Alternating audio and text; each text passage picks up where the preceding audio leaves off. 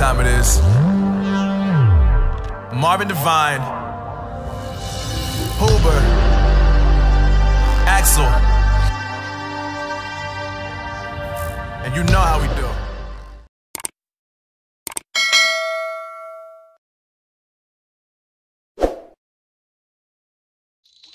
round untuk SND tapi hanya 6 saja. So kita akan habiskan lagi 6 untuk. Lepas tu baru kita pergi ke domination. Okey, uh, Denny apa yang kamu nampak dekat round yang sebelum tadi? Sebelum tadi, 6 6 round yang pertama tadi, uh, Yeah. DF betul-betul uh, mendominate game ya. Kita boleh nampak DF uh, uh, berjaya memenangi ke 6-6 pusingan. Dan 6 pusingan dan kita mau lihat uh, kali ini adakah CG berjaya membuat comeback untuk game yang kedua uh, untuk ra- round yang kedua ini. Ah, okey, okey. Aku tiga tu kau nampak kau boleh nampak. Oh. So Denny sekarang ni siapa yang serang, siapa yang defend? Uh, sekarang ni Sekejap Kejap Okey. Tengok boleh tengok dekat merah dekat warna warna biru. Dalam merah apa? Sekejap Kalau merah ada tulis attack ada bom ada warna kuning tu ah dia dia menyerang. Attack. Mana bom? Mana bom? Bom ada warna warna, warna kuning tu. Dekat bawah score Oh. point tu. Oh, okey, okey, okey, okey, okey, okey. Habis tak dapat lah semua. So yang nak cakap apa-apa. yang yang plan bom yang yang bawah merah tu, okey. Okey, boleh cerita Alright. saya siapa yang serang, siapa yang defend? Sekarang dia uh, menyerang sementara CG uh, melalui posisi defend. Uh, dan uh, CG sekarang uh, marga hadapan. Cuba mengontrol point A. Uh, DF baru saja membawa bomnya, Raja Wali. Bersama bomnya, cuba mara ke point A. Point A sudah berada, tim CG sudah berada di point A.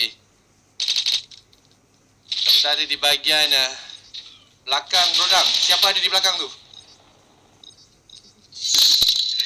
tolonglah, tolonglah. Siapa yang tinggal lagi seorang? Siapa yang Tak. tinggal lagi seorang tu Denny? Kan tinggal hanyalah CG Ain. CG Ain berada di Ah. berada di kawasan yang high ground. Cuba bertahan di bahagian atas ya. Tapi tidak berjaya. Disapu. Disapu terus oleh kumpulan DF. Sapu tunggu. Disapu. Okey. Okey. Masuk ke Keadaan masih sama lagi Denny. keadaan Keadaan masih sama lagi. keadaan masih sama mana di mana DF uh, sekarang masih mendominate uh, game masih memenangi pelaw- uh, perlawanan ini uh, CG apa apa oh okey sekarang uh, sekarang DF berada dua uh, bermata dua sekarang ni. Along baru saja. Along saja. Baru saja ditembak bersama Mamat. Mamat baru saja di knockdown dimatikan. Dan tinggal CG Kwan bersorangan cuba mempertahankan maruahnya. Adakah CG Kwan berjaya. Ya. Good try good try, good try. CG Kwan berjaya menjatuhkan seorang player daripada dia dan tercedok jua. Masih sama. Round yang ketiga DF masih leading. Kita masuk ke round yang keempat. Adakah uh, DF uh, CG berjaya dapatkan point? Ataupun adakah masih sama? Kita lihat sebentar lagi ya. Sekarang uh, DF terus mara ke hadapan eh, tanpa ragu-ragu terus mencari CG yang berada di belakang. Dan uh, Alung berada di kawasan uh, pokok-pokok untuk uh, mencari sedikit tempat bersembunyi tapi tidak berjaya.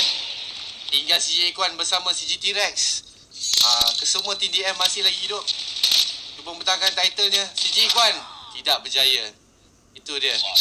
Tim round. Keempat masih lagi dimenangi oleh tim DF kembali pada round Nampak, nampak, ya nampak. Okey. alright Boleh teruskan, boleh teruskan. Mari ke round, round kelima, ke round kelima. Mana uh, Ikwan, CG Ikwan. Kumpulan CG ya. Masih lagi mencuba tapi tidak berjaya. Babat still down lagi. Sama si, tinggal CG Ikwan, CG T-Rex dan CG Alung. Dia masih lagi full squad. Cuba terus mana ke hadapan tanpa ragu-ragu. Dengan confidentnya yang ada. Mencari kumpulan CG di bahagian belakang. Sekarang ni uh, King sedang berlega-lega mencari tim CG sedang uh, bersembunyi sedikit kerana keadaannya yang tidak balance eh. Dua player melawan uh, tiga player sekarang. Tiga player. Along berada di posisi atas. Oh, tidak berjaya. Sudah habis diserang. Tinggal CG Tirek berserangan. Masih cuba mempertahankan uh, uh, di kawasan terpencil. Dua melawan satu. Tiga melawan satu. Adakah berjaya? Tidak berjaya ke? Kumpulan DF berjaya mengekalkan point. Dan ini adalah round yang ke-6. Round yang terakhir. Adakah CG akan mempulang kosong lagi? Atau DF akan terus menggondol CG tanpa ragu-ragu itu dia. CG tidak baru saja tercedok. Tercedok oleh bazooka uh, kumpulan DF berada di posisi sebelah kiri. Kumpulan DF uh, mara ke hadapan tanpa menunggu uh, dan itu dia. Perlawanan sudah tamat. DF masih lagi mendominate. Round 2 iaitu map. Stand of domination. Pertempuran antara CG menentang DF. Dapatkah CG untuk Oh, oh, tak boleh tukar player. Okey, alright. mereka Okey, okey, duduk, okey. ah, di round SND uh, Tak payah tukar. tadi. So kita terus saja tengok player-player masih sama tidak berubah. So baiklah tuan-tuan dan puan Dapatkan mereka itu dari Raja Wali dengan menggunakan AK-47 tank.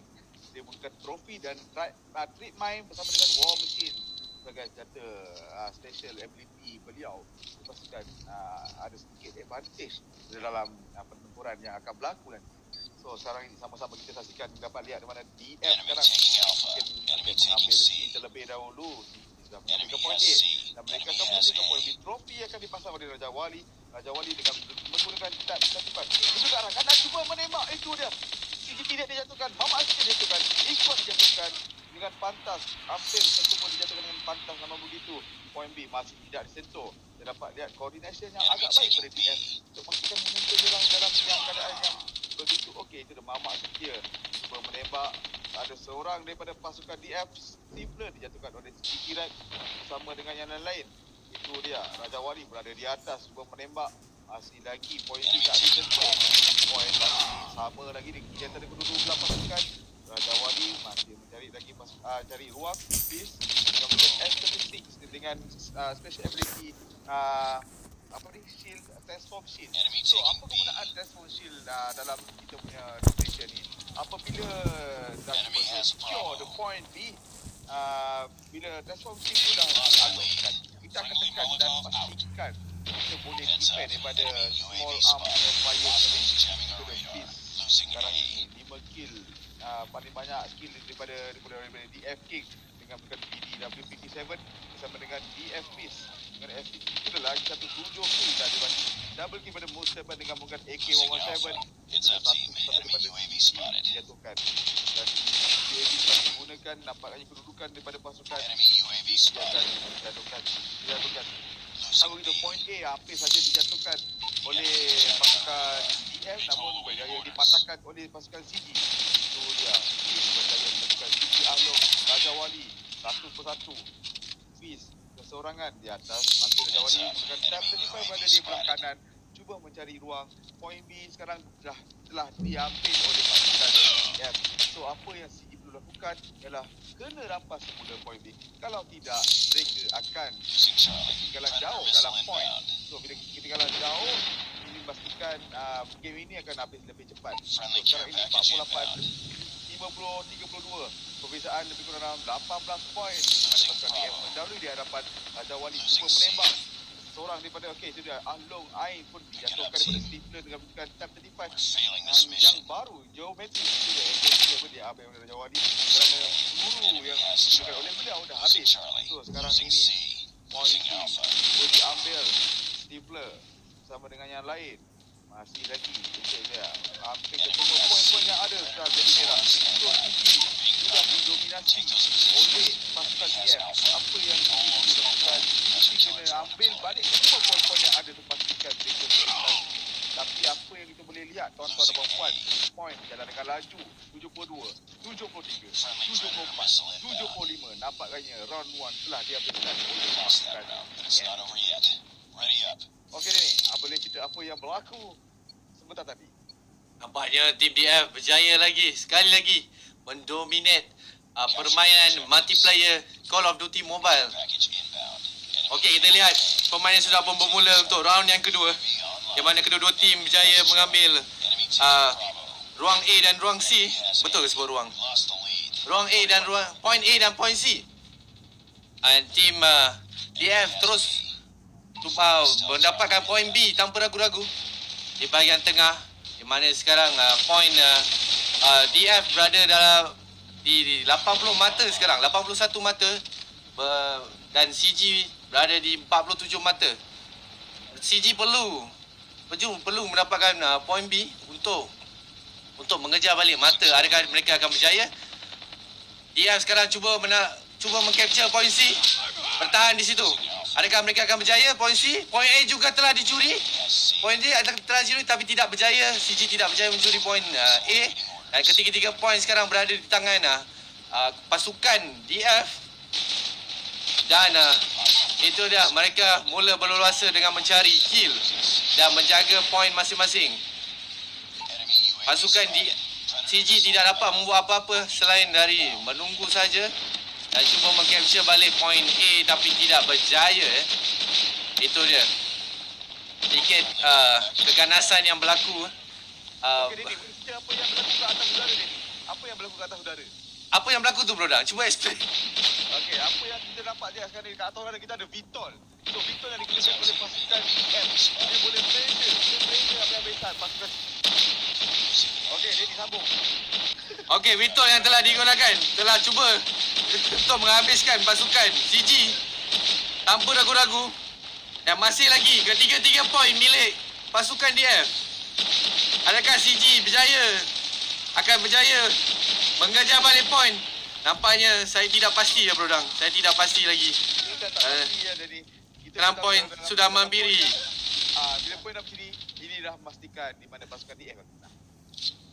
Sebab dah terlalu jauh.